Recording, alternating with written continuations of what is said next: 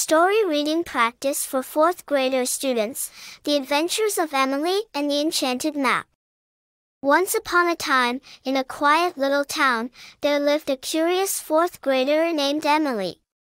She had a passion for exploring and discovering new places. One sunny morning, as she was rummaging through her grandparents' attic, she stumbled upon a dusty old map. Flash, the enchanted map of whimsical wonders, with her heart racing and her imagination running wild, Emily decided to embark on a grand adventure. To uncover the secrets of this enchanted map, she carefully packed her backpack with snacks, a water bottle, and her trusty flashlight. Then, she set out on her journey. Stop on the map was Mermaid Cove. Emily followed the map's winding path, and before long, she reached a hidden cove by the sparkling sea. To her amazement, she saw real mermaids, playing in the crystal clear waters.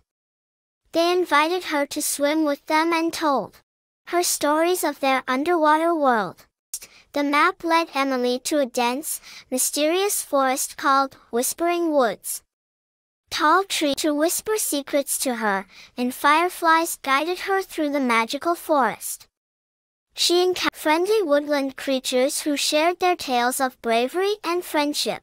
Emily ventured deeper into her adventure, she discovered Dragon's Lair, a towering mountain, where a gentle dragon named Dizzy lived. Dizzy was unlike any dragon Emily had heard of. Instead breathing fire, he breathed bubbles. They played games together, taught Emily the importance of kindness and imagination. Enchanted Map took Emily to many more places, from Unicorn Meadows to Fairy Glade, each with its own enchanting wonders.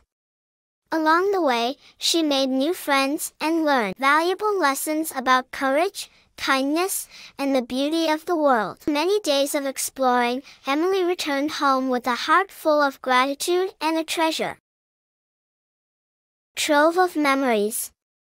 She knew that her adventures had only just begun, and the enchanted map would always guide her to new and exciting places.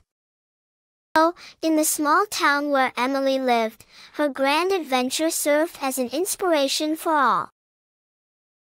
The fourth graders, reminding them that the world is full of magical wonders waiting to be discovered as long as you have a curious heart and an enchanted map of your own. The end.